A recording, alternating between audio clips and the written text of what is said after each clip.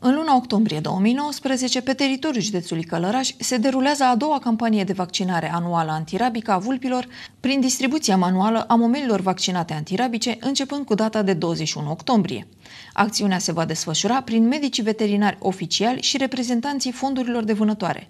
La minim 45 de zile de la finalizarea campaniei de distribuție aeriană a momelilor vaccinate la vulpi, campanie începută din data de 20 septembrie 2019, se va evalua eficiența vaccinării. În acest sens, se vor efectua examene de laborator din probele prelevate de la vulpile recoltate în urma vânătorii pentru a se determina prezența anticorpilor antirabici post-vaccinali.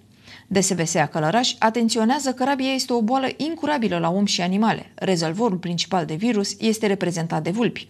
Metoda cea mai eficientă de prevenire a acestei boli este vaccinarea antirabică a vulpilor și vaccinarea tuturor câinilor și a pisicilor domestice. Se recomandă evitarea contactului cu momelile vaccinale de către animalele domestice și mai ales de către persoane. Momelile antirabice pentru vulpi sunt sub forma unor tablete cu miros puternic de pește. În cazul în care se găsește o momeală cu un velișul desfăcut, spart sau distrus, cu mâinile protejate de mănuși, se plasează momeala într-o pungă de plastic și se anunță medicul veterinar din cea mai apropiată localitate.